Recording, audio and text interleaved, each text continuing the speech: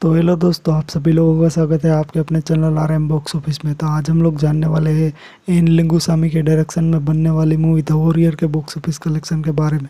तो सबसे पहले बात करते गए जिस मूवी के बजट की। तो इस मूवी का बजट है चालीस करोड़ और इस मूवी को इंडिया में बारह स्क्रीन में रिलीज़ किया गया था। और इस मूवी को इंडिया में दो भाषाओं में रिलीज़ किया गया था, जैसे कि तमिल और तेलुगु जैसी दो भाषाओं में इस मूवी को रिलीज़ कर दिया गया था। फिर बात करते हैं इस मूवी के लीड रोल की तो इसके लीड रोल में आपको राम पोथिनेनी और कीर्ति शेट्टी नज़र आए थे और इस मूवी को रिलीज़ हुए आज पाँच दिन हो चुके हैं तो इसके पाँच दिन के बॉक्स ऑफ़िस कलेक्शन के बारे में हम इस वीडियो में जानने वाले तो वीडियो को एंड तक देखना। फिर बात करें इस मूवी के फ़र्स्ट डे कलेक्शन के बारे में, जहाँ अपने पहले ही दिन इस मूवी ने तेलुगु से नौ करोड़ साठ लाख रुपये का कलेक्शन किया था, जो कि एक शानदार रहा था। फिर बात करते हैं इस मूवी के तमिल बॉक्स ऑफ़िस कलेक्शन के बारे में, जहाँ आपने पहले ही दिन इस मूवी ने तमिल से 40 लाख रुपए का कलेक्शन किया था। यानी कि अपने पहले ही दिन इस मूवी ने टोटल 10 करोड़ रुपये का कलेक्शन किया था।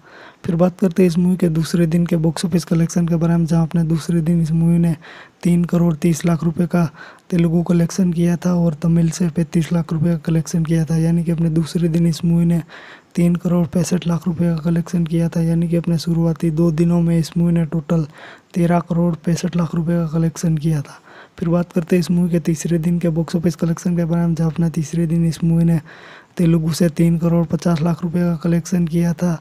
और तमिल से चालीस लाख रुपए का, यानी कि अपने तीसरे दिन इस मूवी ने तीन करोड़ नब्बे लाख रुपए का कलेक्शन किया था।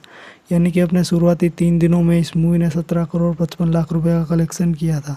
फिर बात करते हैं इस मूवी के चौथे दिन के बॉक्स ऑफ़िस कलेक्शन के बारे में, जहाँ अपना चौथे दिन इस मूवी ने तेलुगु से तीन करोड़ बीस लाख रुपए का, तमिल से अस्सी लाख रुपए का कलेक्शन किया था। यानी कि अपने चौथे दिन इस मूवी ने चार करोड़ रुपए का कलेक्शन किया था। यानी कि अपने शुरुआती चार दिनों में इस मूवी ने इक्कीस करोड़ पचपन लाख रुपए का कलेक्शन किया था। फिर बात करते हैं इस मूवी के पाँचवें दिन के बॉक्स ऑफ़िस कलेक्शन के बारे में, जहाँ अपने पाँचवें दिन इस मूवी ने तेलुगु से तीन करोड़ रुपए और तमिल से पचास लाख रुपए का कलेक्शन किया था।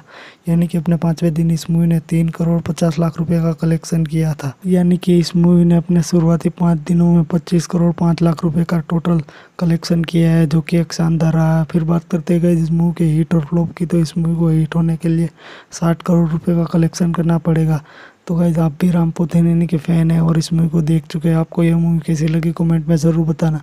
तो गाइज़ आज के लिए इतना ही, मिलता है अगली वीडियो में।